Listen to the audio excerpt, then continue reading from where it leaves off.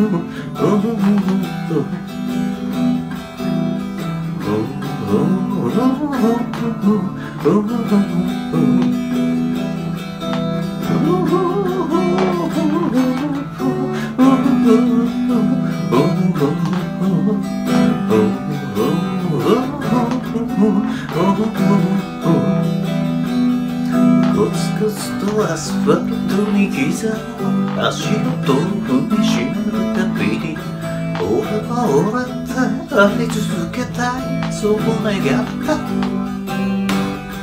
裏腹な心たちが見えてやりきれない夜を数え逃れられない闇の中で今日も眠ったふりをする知り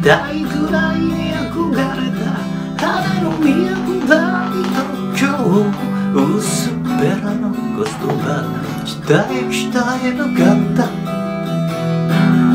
ざらついた美大砂をかぶとねじ伏せられた正直さが今頃になって湯気にもね目にしみる。ああ幸せのどのよどこへお前はどこへ飛んでゆくああ幸せのどのがほら下も。たしべわってら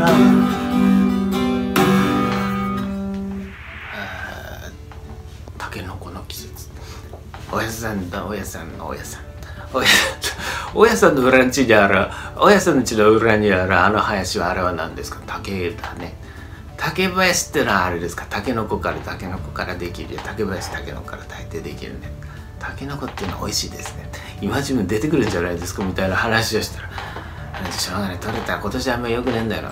取れたら取れたらやるよっつってさこの間昨日か？昨日玄関のとこにビニール袋ぶら下がってなんだなんだこれっつったらさタケノコ入ってあ大家さんがタケノコタケノコ置いてってくれたっつってさ。奥さんに奥さんに湯がいといてやるからって。奥さんに湯がいてもらってさ昨日はねそれそのまんまあななんだあれ湯がくのか最初わかんないけどさ。あのなんかさ刺身みたいな感じでちょ。っと食べたからあのマヨネーズか。マヨネーズつけて食べたこれ美味しくてさ。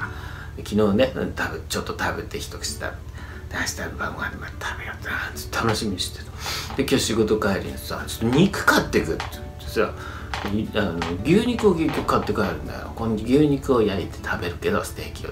みたいに。まあちっちゃいやつだけどね。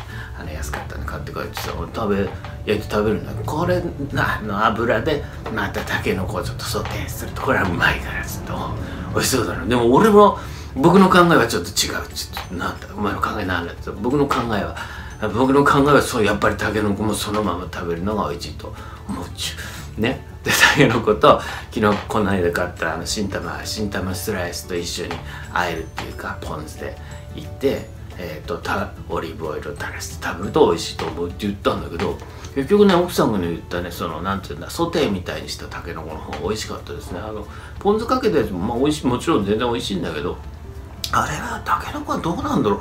油と親和性がいいんですかね。油でこうまあマヨネーズとかも多分油たくさん入ってると思うんですけどそっちの方がなんか美味しいような気がしましたね。ソテーしたらね美味しかったですね。で牛肉を焼いてさ牛肉もいいまあそそれなりにいいやつだからそれが仕事帰りだから半額で売ってたりするんだ。半額で食べてる。いいいい肉って半額食べて嬉しいね。そニンニクを一緒に買ってきてさニンニクの生のニンニクをさやっぱり油で味付けしたり油で味付けする。油あの生のニンニクを一緒に焼いたりしてさ食べたこれがまたうまいでしょ。ついでと言っちゃなんだけどさアスパラガスの紫のやつがなんか紫アスパラみたいなこれもなんかうまそうだから一緒に食べるやつこれも湯がいてさマヨネーズかけて食った。これがまたうまくてさ。まあ今日はね晩ご飯美味しかったですけど何しろ肉も半額だったしたけのこタダだからさまあ安く上がってすんごい今日美味しかったんで大変たらふく、えー、美味しくいただきました。ごちそうさまでした。